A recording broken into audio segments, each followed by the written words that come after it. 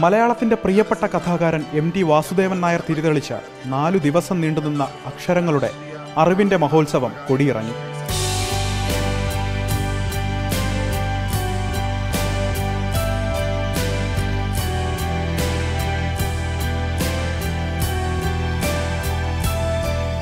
Ramachandra Guha Fousia Hasan Arundhati Roy Rakesh Sharma Rajdeep Sardesai Loknath Behera Prakash Raj Rima Kallingal K S Achuthanandan Anand Benyamin Zacharia T M Krishna Richard Stallman.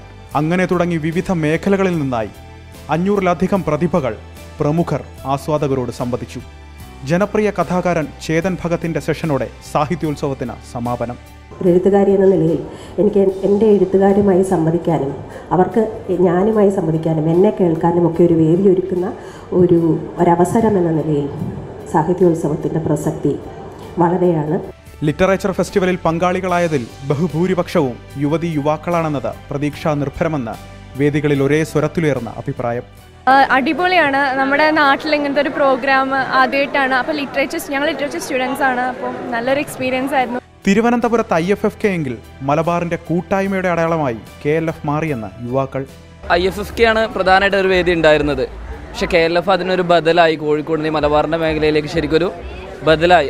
എല്ലാവരും ഇവിടെ വരികയും ഇത്തരത്തിലുള്ള കൂട്ടായ്മകൾ ഈ festival കൂട്ടായ്മകൾ സജീവമാകുന്നതിനൊരു വലിയ സ്ഥലമായി കെ എഫ് മാറി. കല്ലുമ്മക്കായയും സുലൈമാനിയും ഐശ്വരതിയും ഉപ്പിലിട്ടതും കുലുക്ക് സർബത്തും അങ്ങനെ അങ്ങനെ കോഴിക്കോടിന്റെ രുചി നുകർന്ന് കടലോരത്തെ അക്ഷരോത്സവത്തിന് വീണ്ടുമെത്താൻ ഇനി ഒരാണ്ടിന്റെ കാത്തിരിപ്പ്.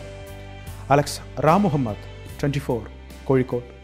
വാർത്തകളുടെ ലോകത്ത് വജ്രമൂർച്ചയുമായി എത്തിയ ട്വന്റി ഫോർ. ഇപ്പോൾ നിങ്ങളുടെ സ്മാർട്ട് ഫോണിലും സ്മാർട്ട് ടിവിയിലും. ഡി ടി എച്ച്ഒ കേബിൾ കണക്ഷനോ ഇല്ലെങ്കിൽ പോലും ഇപ്പോൾ നിങ്ങളുടെ സ്മാർട്ട് ടിവിയിൽ ഇന്റർനെറ്റ് ഉപയോഗിച്ച് യൂട്യൂബ് ആപ്പിലൂടെ ട്വന്റി ഫോർ ന്യൂസ് ചാനൽ നിങ്ങൾക്ക് ലൈവായി കാണാം.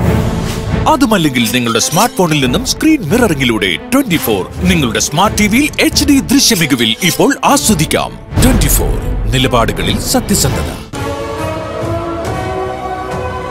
This is 24.